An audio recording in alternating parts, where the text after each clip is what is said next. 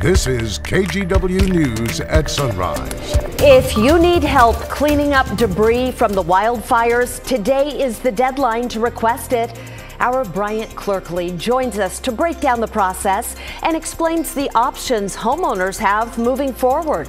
Plus, they're a bit smaller than, say, your typical home, but we also know good things can come in small packages. So this morning, we'll highlight the Portland business that's creating energy efficient homes that can also save you some money. And we hear from one of the people who made this quilt, mm. stitched together for America's bicentennial. She's frustrated that protesters damaged it during last weekend's riots. So, coming up, we'll take a closer look at the history behind that quilt. It is a Friday morning here on Sunrise. A quick Friday morning roll call. Nina, absent. Brenda, present. and Rodney Hill here and ready to go this morning. good morning. We have a pretty good day coming up. We're not going to see that beautiful deep blue sky that we had yesterday. We are starting off with cool temps, uh, 46 in downtown. And by the way, these temperatures generally low to mid 40s, exactly average, if you will, for this time of the year. There's Salem and Keizer at 42. Uh, a little bit of fog being reported out in Washington County. Most of us, I think, will start off with sunshine, but we will see increasing cloud cover during the day. 56 at lunchtime, cloudy skies much of the afternoon potentially, and 64 at 5 p.m. Thank you, Rod. We begin this morning with a group of black Portlanders heading to court. They say they want to show people the type of discrimination they face on a daily basis. We spoke with one of them who says he tried to buy gas for his lawnmower last summer and was denied. Dominique Deweese says the attendant implied that he was going to use that gas to start dumpster fires during a riot. The incident happened last July at Jay's Garage on Southeast 7th and Morrison.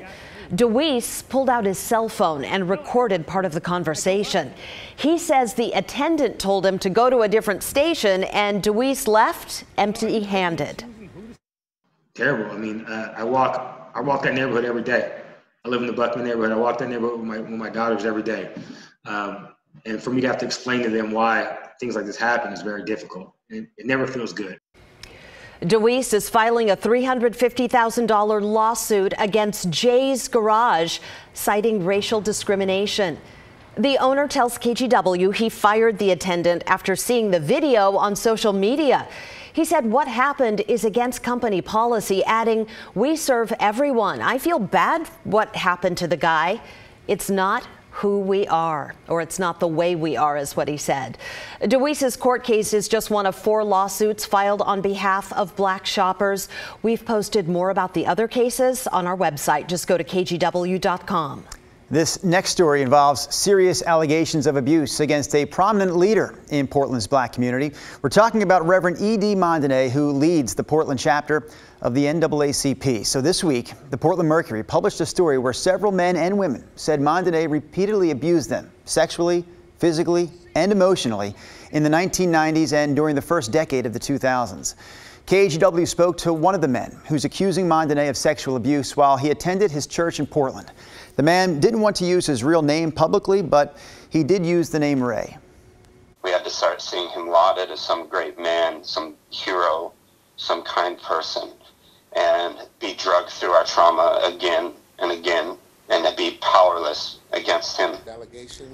So there is Mondainé, and he has denied all allegations. He held a Zoom call with reporters yesterday where he didn't take any questions, but he did call the allegations an example of, quote, cancel culture. And despite denying that he abused anyone, Mondainé said he will not be running for re-election to continue leading the local chapter of the NAACP. Today, ballots will start going out in Washington. If you want to register to vote online or by mail, the deadline is coming up on October 26th.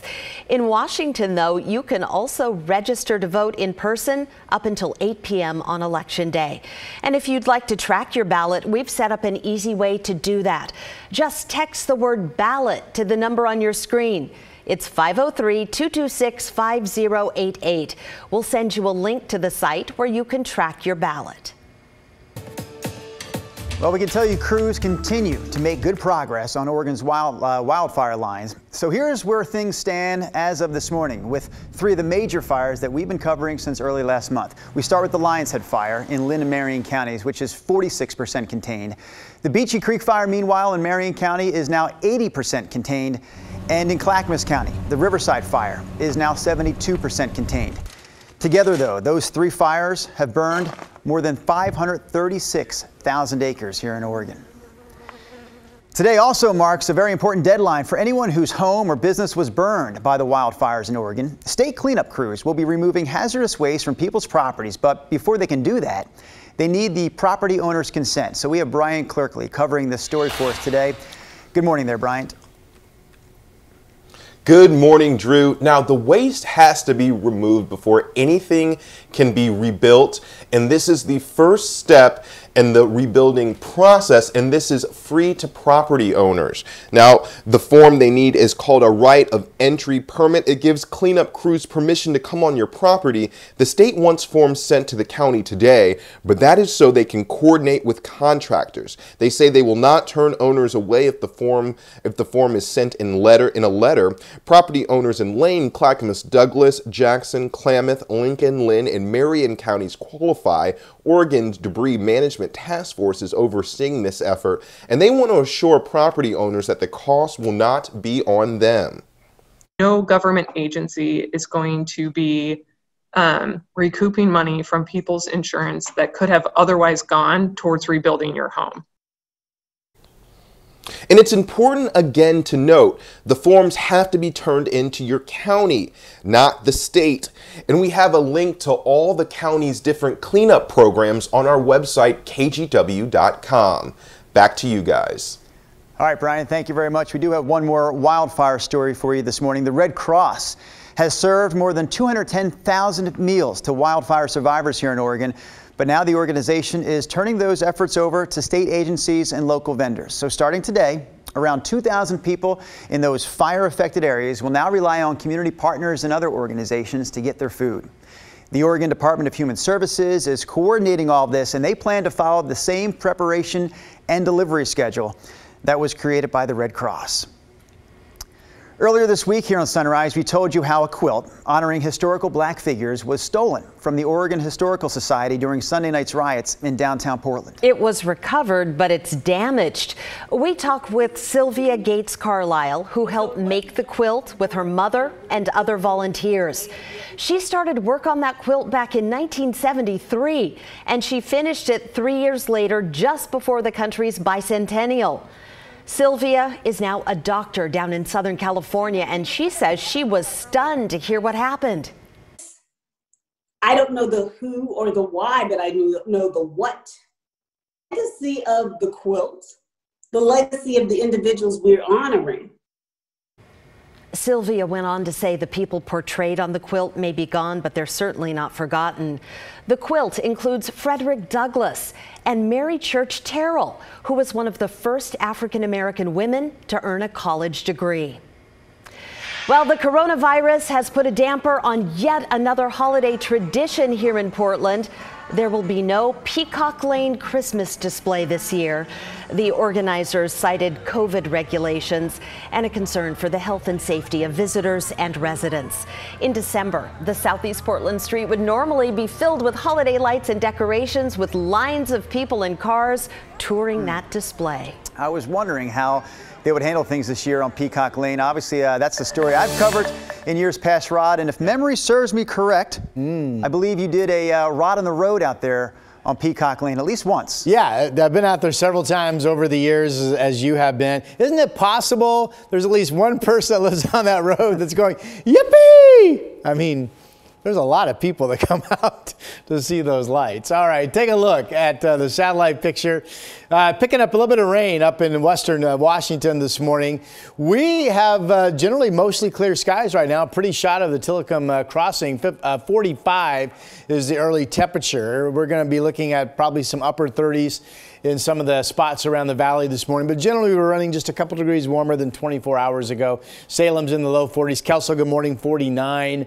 So again, there's cloudiness up to our north. Seattle's at 54. We're in the 20s this morning in Baker City and Burns. So the tale of today is we start off with sun and then we get increasing cloud cover.